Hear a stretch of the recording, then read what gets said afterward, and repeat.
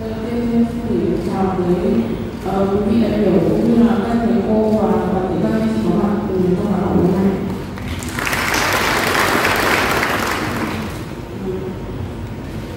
Anh quên câu hỏi của đúng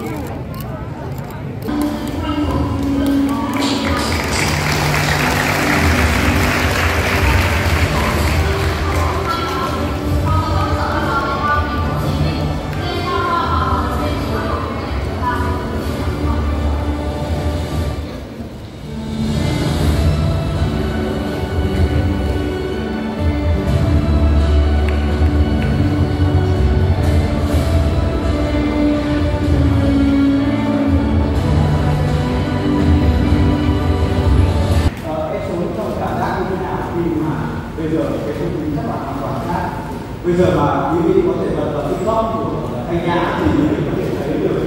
sự trân trọng sự yêu mến của quý vị dành cho thanh nhã như thế nào trong những ngày qua không khí như thế nào Đầu tiên xin gửi chào tới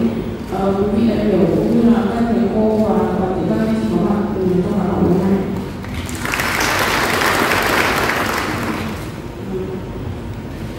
anh quên câu hỏi của